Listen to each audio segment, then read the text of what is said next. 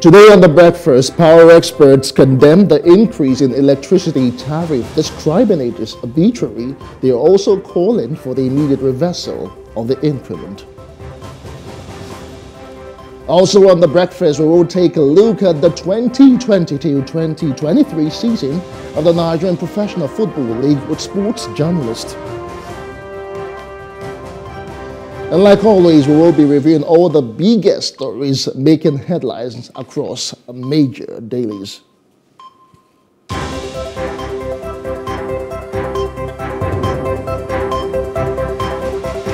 Welcome to The Breakfast. I am Justin Akadonye. It's a Friday and we are thanking God. How are you doing where you are? I trust you had yourself a wonderful night rest and you are braced up for the day ahead and, of course, the weekend.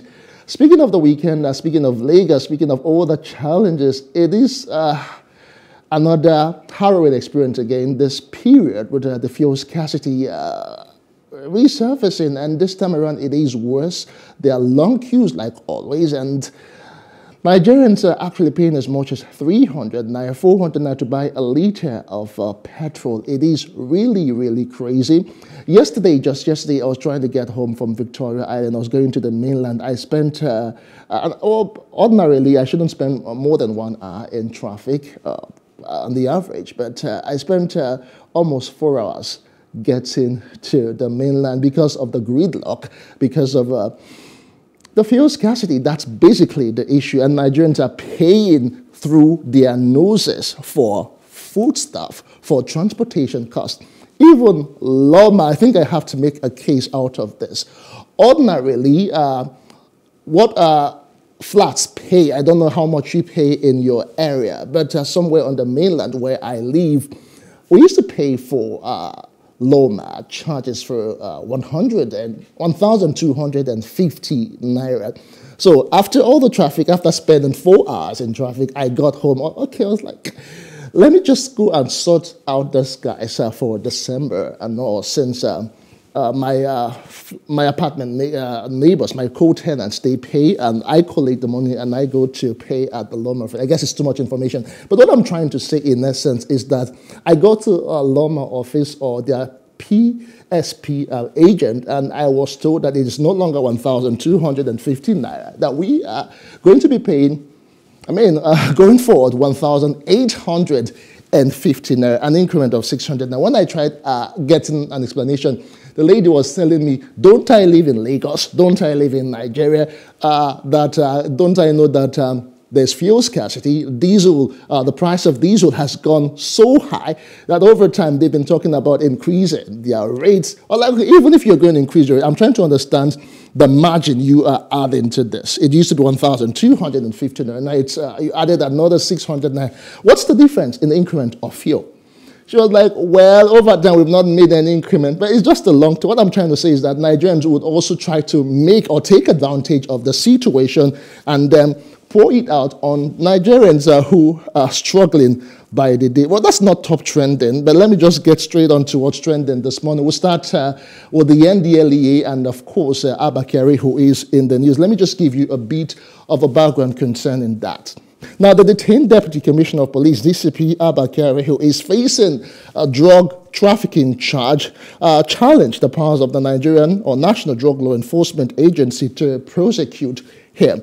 Kyari, who hitherto headed the Police Intelligence Response Team, IRT, is on trial for allegedly tampering with cocaine that was seized from two convicted drug peddlers, Chibunna Patrick Umeibe and Emeka Alphonsus Ezenwanne. He is answering to an eight count charge. Now, the NDLEA preferred him and uh, four members of his team, and they are ACP Sunday Ubua, ASP Bawa James, Inspector Simon Agirigba, and Inspector John Nuhu. Now, at the presumed hearing, this was on Wednesday, uh, through his lawyer, Nureini Jimoh SAN, maintained that the charge against him was legally defective, whatever that means. I'm not I'm a lawyer. Well, he told the court that the charge was premature, insisting that the NDLEA ought to have allowed police to exhaust its internal machinery before it instituted the action. He is saying that the NDLEA has not really done its um, own homework and um, the charges are premature. That's uh, what uh, Kyari, uh, Kyari's lawyer is saying. Now, the lawyer went on to say that the police had already commenced investigation on allegations against him and issued an interim report. He maintained that he could only be charged to court upon conclusion of the internal investigation by the police. So he can be charged until the police is done uh, with um, their investigation. That is what he is saying, uh, or through his lawyer to the court. Okay, he went on to argue that the Police Service Commission has similar powers to investigate and discipline errant police officers in line with the Police Act and regulations, the same way the National Judicial Council, NJC, discipline uh, judicial officers. So he's saying that uh, he's supposed to be disciplined by the Police um, Commission, of course, uh, before he's taken to the court, just like uh, it's done with judges and the NJC. Now, consequently, Kyari urged the courts to quash the charge and discharge him. His application was also adopted by the other defendants who prayed the court to terminate further proceedings in the charge against them. Meanwhile, the NDLEA, uh, through its Director of Legal Services, Sunday Joseph, urged the courts to dismiss the defendant's preliminary objections which it argued was based on fundamental misconception of the law. A whole lot of legalese, if you ask me. Well, um, he told the courts that unlike the Armed Forces Act that made provision for establishment of a court martial, the Police Act expressly stated that police officers are not exempted from any criminal liability under the law. Now, the NDLEA went further to argue that it was, if it was the duty of the police to investigate or prosecute drug related cases, it would not have transferred such cases to it.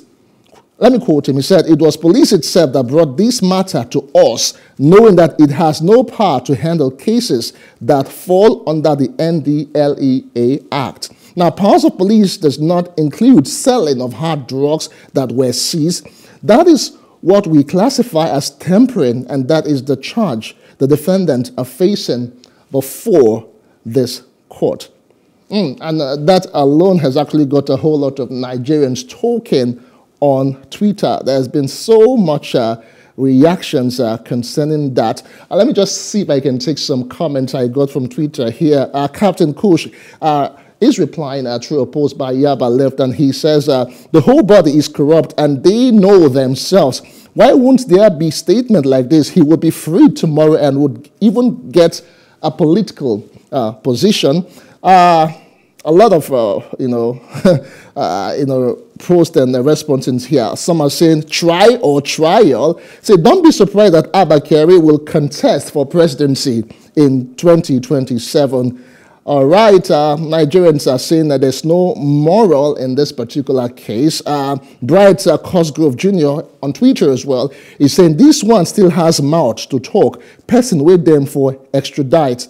Okay, a lot of people are saying that he should have been extradited. He would not even have time to be saying all of this. Uh, another response says Baba won't sing. A lot of uh, comments um, concerning all of that. So that's, uh, that's uh, the top trend. And number one for today, uh, Abba Kyari is saying that um, the NDLEA cannot try him. It should be done by the Police Service Commission, the PSC. Let's uh, go to what's trending next. That the NNPC is still in the news, and this time around, it has gotten approval to uh, construct or reconstruct 44 uh, roads. Uh, it got about 1.9 trillion naira by the Federal Executive Council. Let me give you a bit of a background to that particular story. All right, now the Federal Executive Council, uh, FEC, uh, at its first uh, meeting uh, this year, uh, approved the proposal by the Federal Ministry of Works and Housing for the Nigerian National Petroleum Company Limited and its subsidiaries to invest 1.9 trillion naira for the construction of 44 selected federal roads across the country. At uh, the council on Wednesday, chaired by the Vice President, Professor Yemi Osinbajo, they also endorsed a sum of 1.35 billion naira for the procurement of 31 vehicles for the use of the Federal Ministry of Environment. You know, uh, let's see if we can get uh, what uh, people are saying uh, concerning all of that particular. Just uh, let me just slide on again now to Twitter.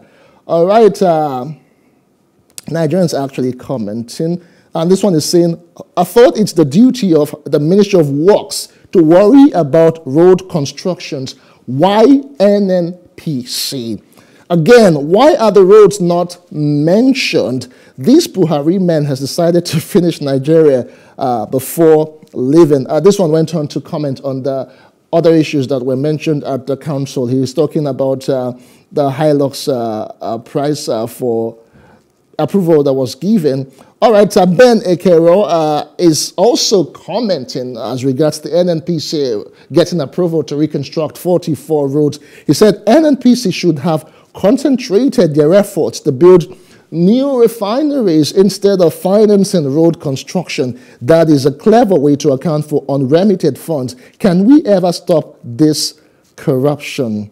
Mm, a lot of people are even commenting, what's the plan for doctors, the health sector, education? Why is NNPC reconstructing roads? I wondered too. I thought it was uh, in the purview of uh, the Federal Ministry of Works to you know, handle uh, road um, constructions.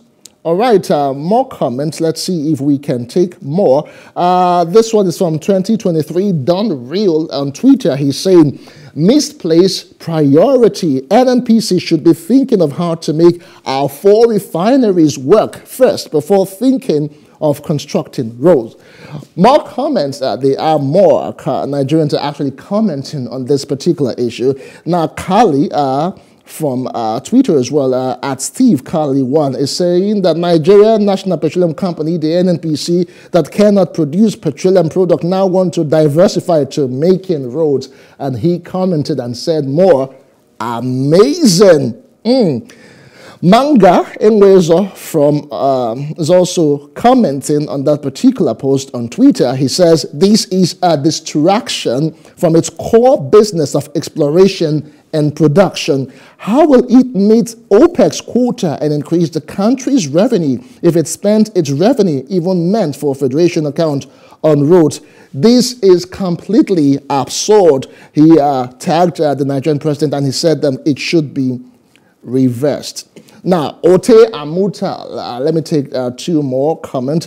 Why did NNPC Limited, uh, or when rather, did the NNPC Limited uh, become our government? Is this public-private initiative?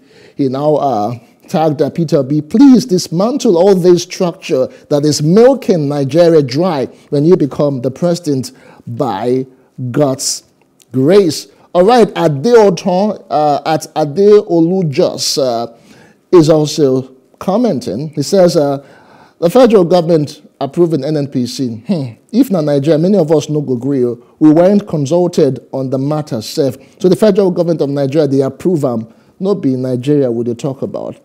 All right, uh, this one, Cassandra Ugochukwu, uh, is tagging the Minister of Works, that's um, Babatunde Fashola.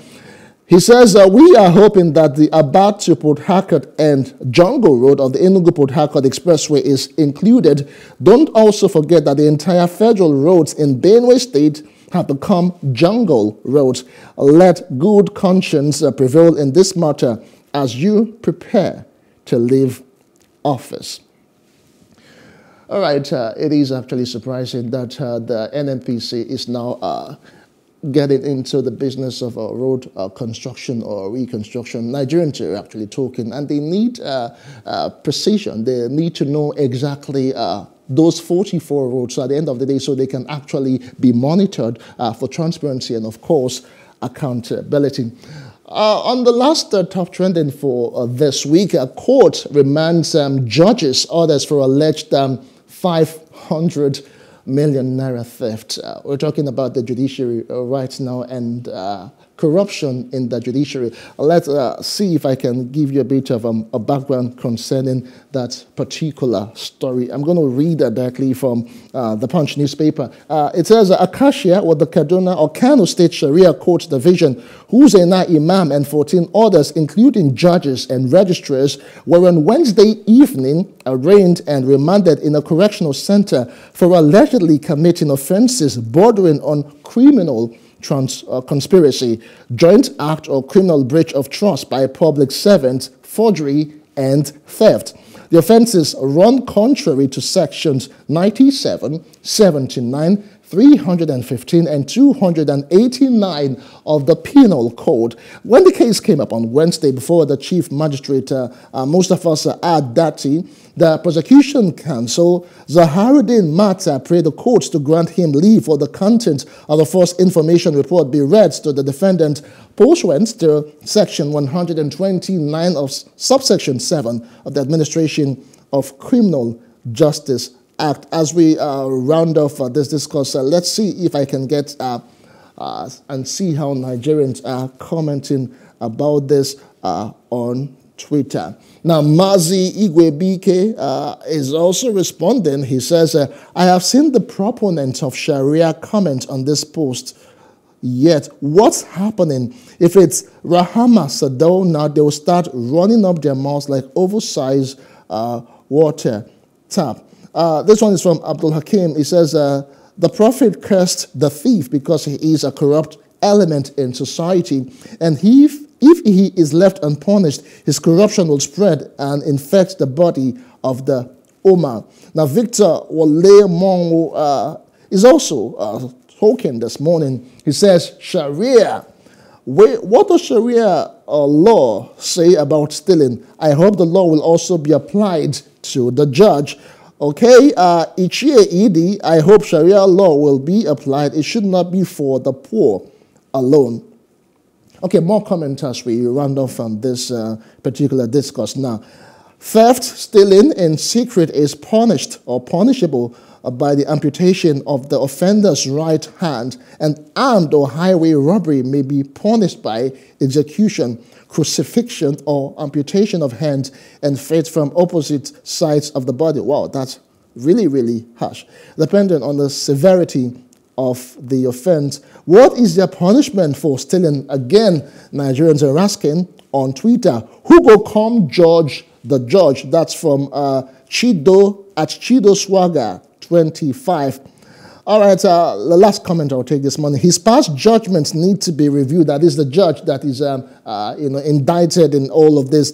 Any armed court must be replaced. Anyone killed must be resurrected or the family compensated very well. The Sharia court should be the one to preside over his case again. It is really sad when we hear that um, those who should actually be dispensing justice uh, in uh, the country are actually also culpable in this uh, whole matter. We just hope and justice actually to take its course in this matter, and um, those who uh, found them guilty should actually be uh, made to face uh, the full wrath of the Lord. That stopped trending forward this morning. You can uh, comment about all of that on our social media platforms. and would want to hear from you.